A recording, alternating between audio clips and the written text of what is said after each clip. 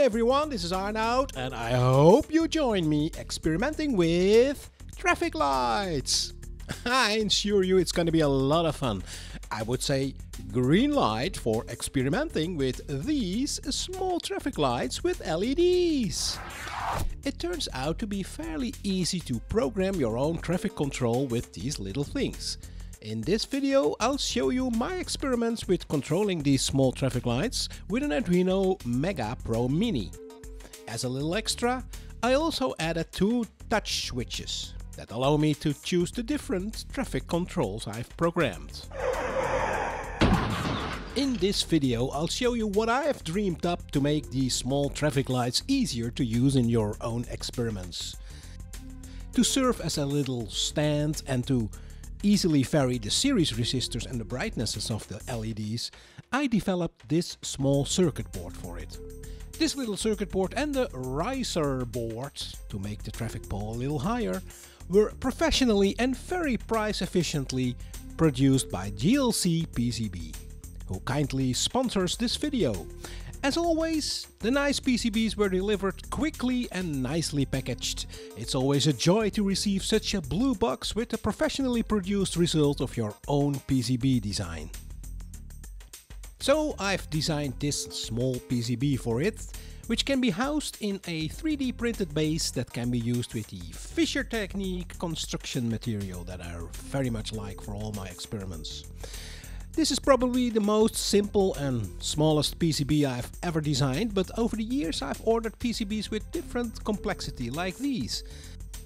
Now these are just PCBs with two layers, but if you're looking for flexible PCBs or PCBs with much more layers, that wouldn't be any problem with JLCPCB either.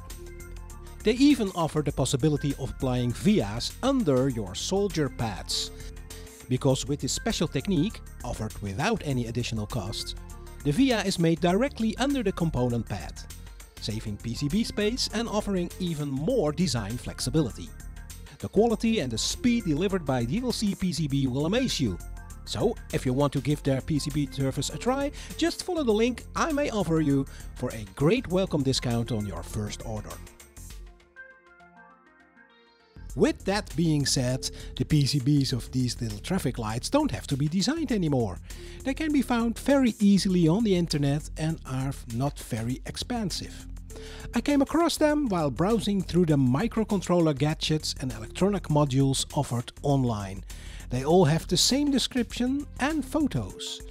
The title is mostly something like Mini 5mm LED DC 5V traffic light LED display module board for Arduino Mini traffic light for traffic light system model or something similar. So I'm sure you'll be able to find them yourselves online somewhere. They're just a tiny traffic light with three large LEDs. The module consists of a red, yellow and a green LED including the necessary series resistors brought together on a small circuit board. The use of a microcontroller is of course obvious when you're gonna play with these things, but probably the traffic lights also lend themselves perfectly to the visualization of traffic controls that are built from classical discrete electronics or even electromechanical solutions. So although advertised as 5mm, these LEDs are 8mm diameter. On the board they share a so-called common cathode, so the minus pole or cathode is combined over here. The product description already indicates that the board should be suitable for 5 volts, so in principle they should be able to be driven directly by the digital outputs of a microcontroller such as an Arduino or a Raspberry Pi. Probably because I ordered at different dealers, I ended up getting two different mini traffic light boards.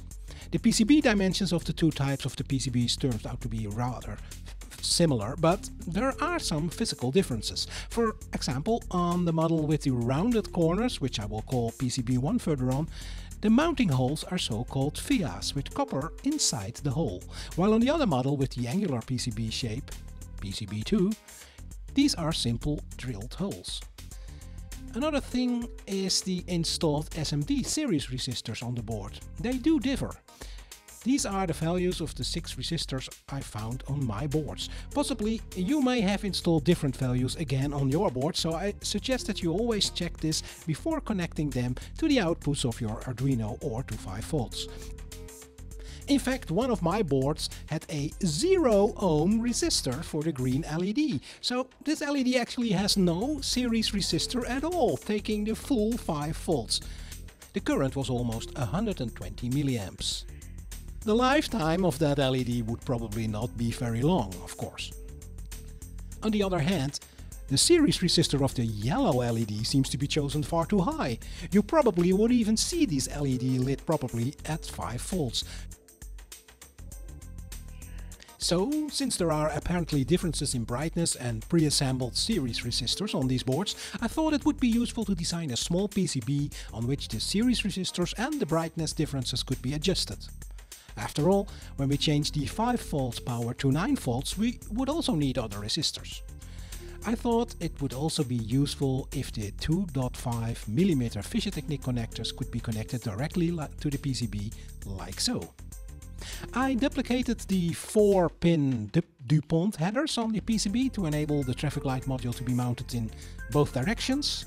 And I finally designed a small casing with grooves for the fischertechnik system. You can find the exact series resistor values I used for the different boards and the colors on the project web page for this project. The link is in the description of this video. There you will also find the link to the PCB Gerber files, the STL3D files and the final Arduino sketch. That's all on GitHub. All I ask of you if you find this video useful is to give it a thumbs up or to subscribe to my channel. To control the traffic lights I used an Arduino Mega Pro Mini.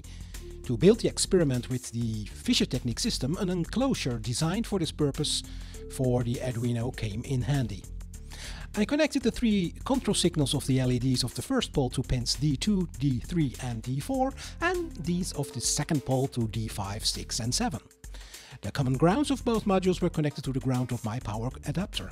This 9 volt of the adapter was connected to the V-in of the Arduino board and we were ready to go. To have a head start for the final program, or sketch as it's called, I used the Duino code generator, which can make suggestions for Arduino software using artificial intelligence. For one traffic light, this led to a working piece of software, but the automatically generated code for two traffic directions, or two traffic lights, was a bit flaky. It needed some minor changes to get it working. Eventually I reconstructed and optimized the code even more because I wanted to define the various light sequences in arrays of structs in the code. This enabled me to switch between traffic programs when I added the two touch sensor switches later on. By the way, I've made a separate video about these touch sensors, so if you want to know more about these, please take a look here down the timeline of my channel and watch that video. The touch sensors like these are described in more detail on my website. I leave a link to that project page in the description of this video. A great advantage of them is that they can be configured to be on-off switches without needing any code in your sketch. Furthermore, they don't have to be denoised or debounced in your code, as normal physical switches would be. So just connect, read the digital value from the corresponding input and you're done. The programming and building steps that led to this small traffic light model are described in more detail on the project page. My final Arduino sketch that may serve as a starting point for your own experiments can also be downloaded over there. So that's it, our little traffic lights model. It is now going through the lamp sequence I'm, I am familiar with. Over here in the Netherlands, the red light jumps directly to green without the yellow light is added to the red one. In many other countries, such as Sweden, Great Britain, Austria or Germany for example, before the red light turns green, the orange light is first eliminated in combination with the red light as a sign that the green light will show up very soon. I opted that when the left touch toggle switch is activated, the program switches from the typical Dutch to the German traffic control. This right touch switch has a higher priority. When activated, the yellow lights flash like it's in off-duty or surface mode, like this. So there you have it. These LED boards offered online are very useful for experimenting with traffic controls. But before you connect them, check what series resistors the manufacturer has soldered in. If values are too high, the corresponding SMD resistor on the module itself will have to be replaced. But if values are too low, like the 0 ohm I found on one of my boards, this can be corrected with additional external resistors of course. You might consider to use my PCB design or just solve this simply by placing the traffic lights on a breadboard or just a small piece of experimental circuit board. Anything goes! Please let me know what you think about this video, subscribe if you like the things I do, or let me know your own application with these funny little traffic lights. I'll be playing a bit more with these things, so for now I'll just say Happy hacking!